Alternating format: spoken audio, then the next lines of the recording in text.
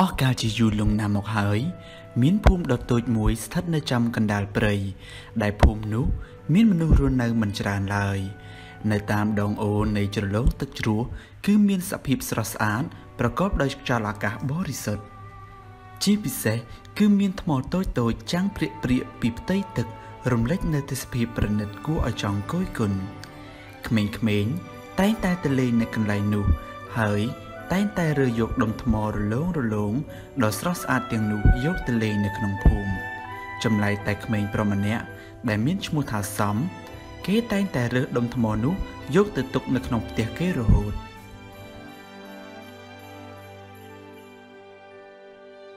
អេពួកឯងថ្មទាំងនេះស្អាតស្អាតមែនវើយពណ៌វាចាំងផ្លេកផ្លេកតែម្ដងត្រូវហើយខ្ញុំស្រឡាញ់ពណ៌វាខ្លាំងណាស់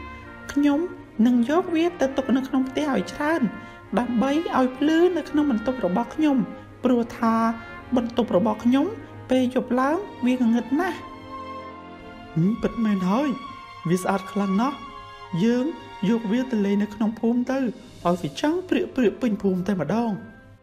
យើងឃើញឯងយកទៅទុកនៅក្នុងផ្ទះរាល់ថ្ងៃឯងមិនហត់ទេអីបើម៉ែយើងដឹងថាយើងយកដុំថ្មនោះទៅដាក់ក្នុងផ្ទះ គាត់ប្រកាសជាស្ដីឲ្យយើងជាមិនខានពិតមែនហើយម៉ែខ្ញុំក៏អញ្ចឹងដែរហើយណាមួយ យើងខ្ជិលយកទៅណាស់គ្រាន់តែជាថ្មសោះហ្នឹងយកទៅនាំតែធ្ងន់ខ្លួន យកតែបន្តិចទៅលេងក្នុងភូមិវាគ្រប់គ្រាន់ណាស់ទៅហើយណាហើយពួកឯងយកប្រមាណយកទៅវាជារឿងរបស់ពួកឯងតែខ្ញុំខ្លាចខ្មោចអញ្ចឹងខ្ញុំត្រូវយកទៅដាក់ក្នុងបន្ទប់ខ្ញុំឲ្យភ្លឺហើយ តើទៅទៅឲ្យវាយកទៅគ្មានអ្នកណាហាមឃាត់ឯងទេដៃឯងតើគេគ្រាន់តែប្រាប់យកល្អតើតោះថ្ងៃត្រង់ហើយ យើងក៏ទៅផ្ទះទៅអីព្រោះខ្ញុំដូចជាឃ្លានបាយហើយតោះ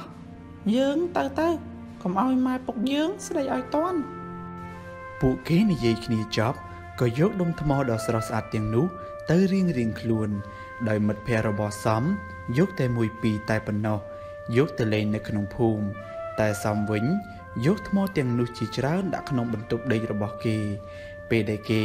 ដើរទៅដល់ផ្ទះគេបានជួបជាមួយនឹងម្ដាយរបស់គេ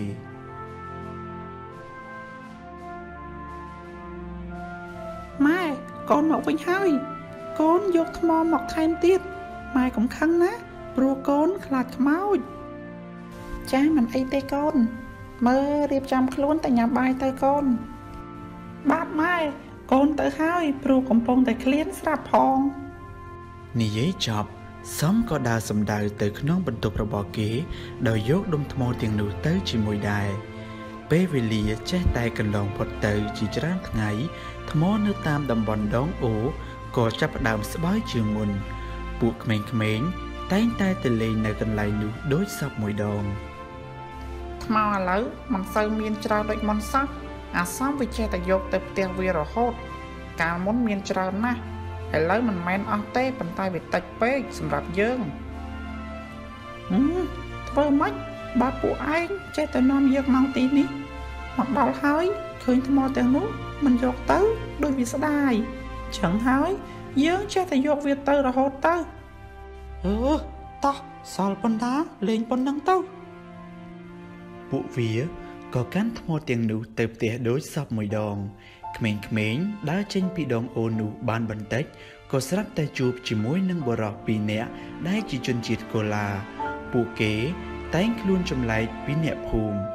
ហើយពួកគេជាអ្នករស់ស៊ីជួញដូរគ្រឿងអលង្ការបរិសជនជាតិកូឡានោះបានភ្ញាក់ផ្អើលយ៉ាងខ្លាំងជាមួយនឹងក្មេងប្រុសទាំង3នាក់នោះ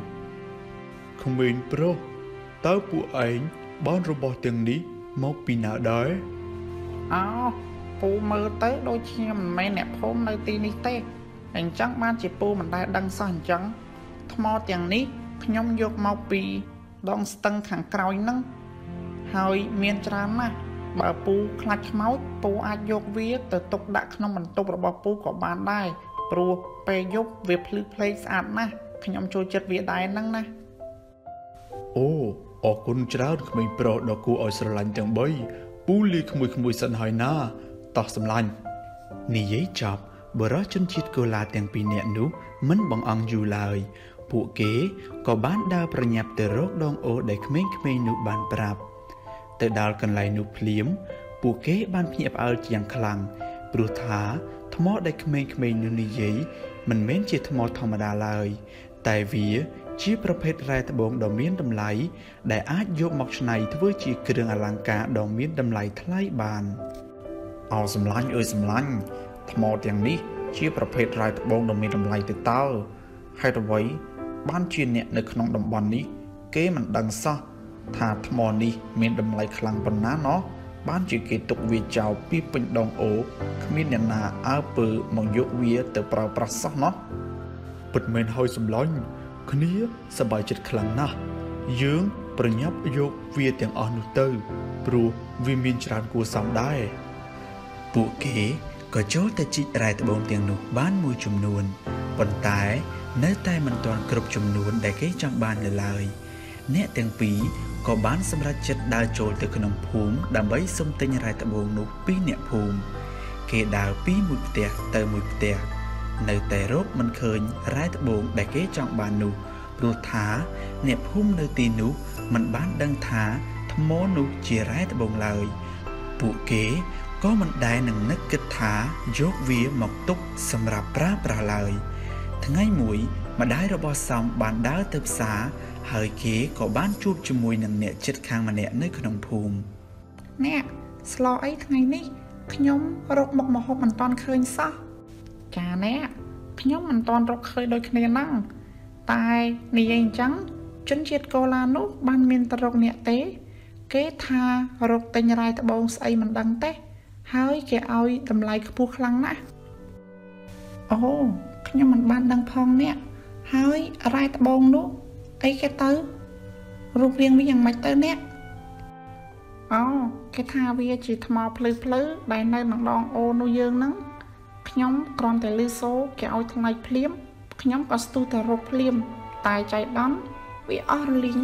រកមួយគ្រាប់ក៏មិនបានផងអូប៉ាត់មែនអីអ្នកហើយពេលណាគេមកទៀតអូ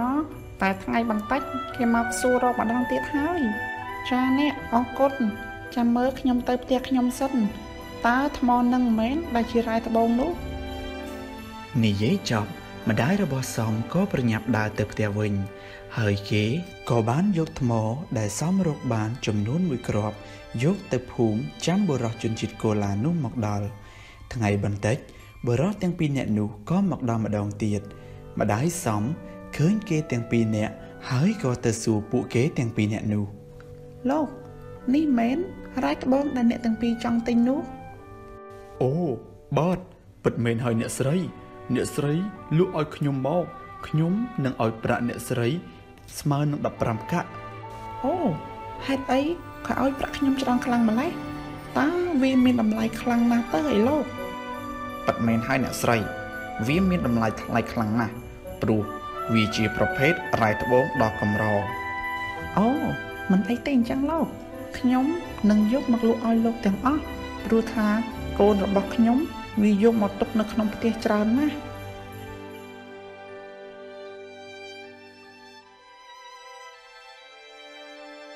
ចាប់ពីពេលដែលម្ដាយសំលក់ត្បូងទាំងនោះទៅឲ្យបរិជនជាតិកូឡាទាំងពីរនាក់នោះមក គ្រួសាររបស់សំក៏បានប្រែក្លាយជីវភាពទាំងស្រុងពួកគេ បានក្លាយជាអ្នកមានជាងគេប្រចាំភូមិហើយរឿងនេះ